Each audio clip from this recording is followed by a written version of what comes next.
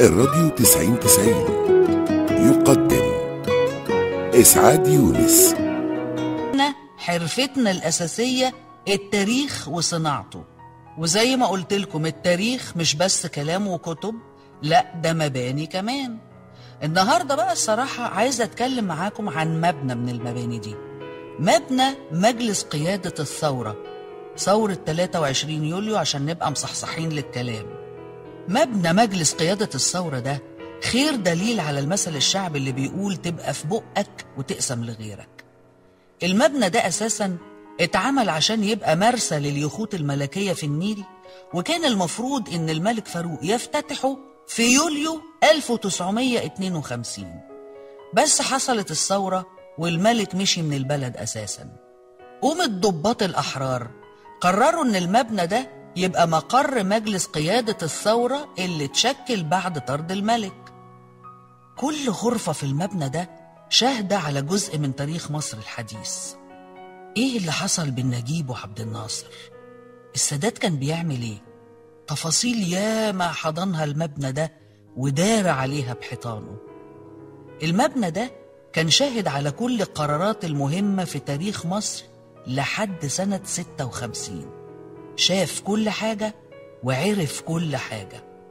عزل محمد نجيب سيطرة عبد الناصر على الحكم خلافات مجلس قيادة الثورة. المبنى ده كان محط أنظار ناس كتير قوي في مصر والعالم لأن القرارات المهمة كانت بتخرج منه. يا راجل المبنى كان وصل لمرحلة إنه بقى نجم وبيطلع في الأفلام زي مشهد النهاية مثلا في فيلم الأيدي الناعمة. بس حال الدنيا مش بيدوم. المبنى دخل في العتمة بعد حل مجلس قيادة الثورة وفضل ساكن وقانع وقابع.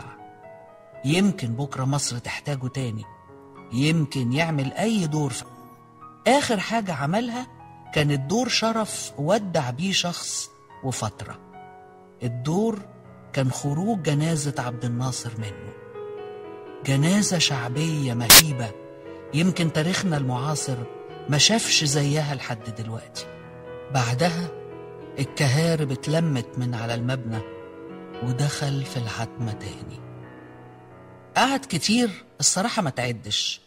المبنى فضل ياكل في نفسه وفي تاريخه لحد ما افتكرناه كده في 2003 الله!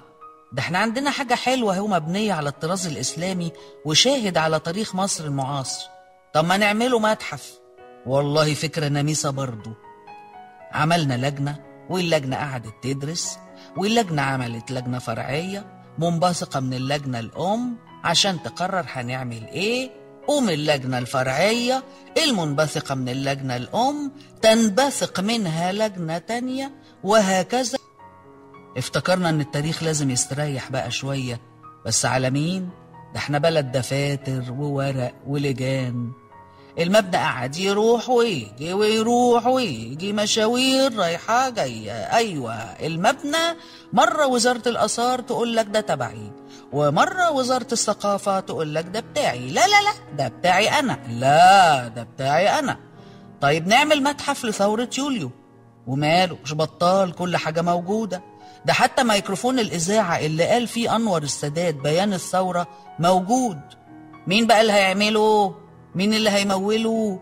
كل وزارة رمت المسؤولية على الوزارة التانية بقينا في 2015 والمبنى بقى حاله يصعب على اللي ما عندوش تاريخ تاريخنا قدام عينينا بينهار بيتسرسب حتة حتة وإحنا بنشكل في لجان وبعد الهنا بسنة نرجع نقول يا ريت اللي جرى مكان. وانت معدي على المكان داخل الفندق أو نازل تقعد في الكازينو أو واقف تضرب ذرة مشوي وحلبسة ابقى ارمي نظرة عليه. صدقني رغم إنه شوية حجارة وطوب